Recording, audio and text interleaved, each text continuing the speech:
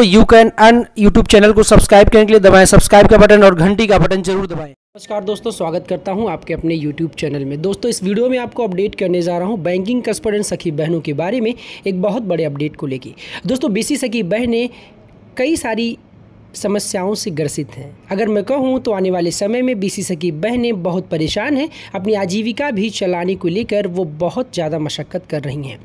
आने वाले समय में किस तरीके से बीसी सकी बहनों के द्वारा समय समय पर धरना प्रदर्शन किया जा रहा है और कलेक्ट्रेट भवन में भी जिला प्रशासन को मुख्यमंत्री जी के नाम ज्ञापन पत्र भी सौंपा जा रहा है। निवेदन करता हूँ, अगर आप चैनल पर पहली बार है तो चैनल को ज़रूर सब्सक्राइब करें और घंटी का बटन दबाकर ऑल नोटिफिकेशन पे ज़रूर क्लिक कीजिए। तो दोस्तों, वीडियो में हम लोग आगे चलते हैं। दोस्तों, आपको मैं बता दूँ किस तरीके से आने वाले समय में कई सारी चीज़ों को देखा जाए तो ज़्यादातर बी सकी बहनें कई जगहों पर अपनी मांगों को लेकर लड़ रही हैं। अगर मैं बताऊँ बिजनौर कलेक्ट्रेट की बात तो बीसी सकी बहनों ने छः सूत्री मांगों को लेकर मुख्यमंत्री जी के नाम ज्ञापन पत्र सौंपा है।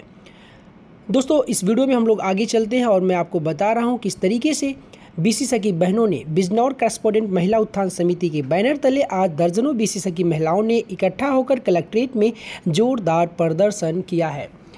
अपनी छः सूत्री मांगों को लेकर मुख्यमंत्री के नाम एक ज्ञापन जिला प्रकाशन प्रशासन को भी सौंपा है। दरअसल आज विशिष्ट करस्पोडेंट महिला उत्थान समिति के बैनर तले दर्जनों बीसी सखी बहन होकर मुख्यमंत्री जी के नाम जिला प्रशासन को ज्ञापन पत्र सौंपा, जिसमें छः सूत्री मांग पर इकट्ठा होकर कलेक्ट्रेट पहुँची और प्रदर्शन करते हुए अपनी छः सूत्री समस्याओं को लेकर एक ज्ञापन मुख्यमंत्री के नाम जिला प्रशासन को सौंपा। उसमें से दो मांगे जो हैं, पहली मांग है लोन माफ़ करने की मांग।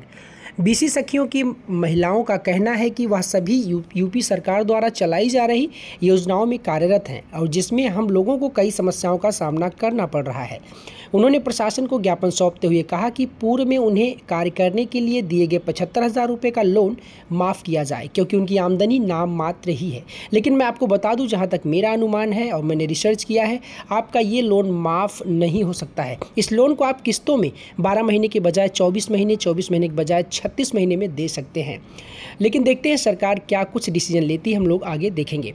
दोस्तों, दूसरा बहुत बड़ी मांग है, बैंक से काटा जाता है कमीशन हम लोगों को मिलने वाला कमीशन ऐसा की बहनें कह रही हैं कि पार्टनर बैंकों द्वारा 25 प्रतिशत काट लिया जाता है, जिससे कि तत्काल रोक लगना चाहिए। सरकार के गवर्नमेंट ऑर्डर के अनुसार हम लोगों को ऑडी खाता स्नानी बैंकों में खोला जाए। बीसी सखियों के कार्यों में उनके संबंध में प्रशासन से जो भी गवर्नमेंट ऑर्डर आता है, वह सौ प्रतिशत लागू नहीं होता है। ऐसा बीसी सखी बहनें कह रही हैं। उसे शत प्रतिशत धरातल पर लागू कराए जाने संबंधी मांग पत्र प्रशासन को सौंपा जा चुका है। ज्ञापन देने वालों में ममता रानी, नीतू, मीना कुमारी, समता देवी, संगीता देवी, रोजी आदि शामिल रही हैं। तो दोस्तों, किस तरीके से बिजनौर में कलेक्ट्रेट में बीसी सखी बहनों ने प्रदर्शन किया है और आने वाले समय में क्या उनकी मांगे मानी जाएँगी, इस चीज़ को हम लोग एक अलग वीडियो में देखेंगे। जहाँ तक मेरा मानना है जिस तरीके से पिछहत्तर हज़ार रूपए सरकार के द्वारा आप यूट्यूब चैनल को सब्सक्राइब करने के लिए दबाएँ सब्सक्राइब का बटन और घंटी का बटन ज़रूर दबाएँ।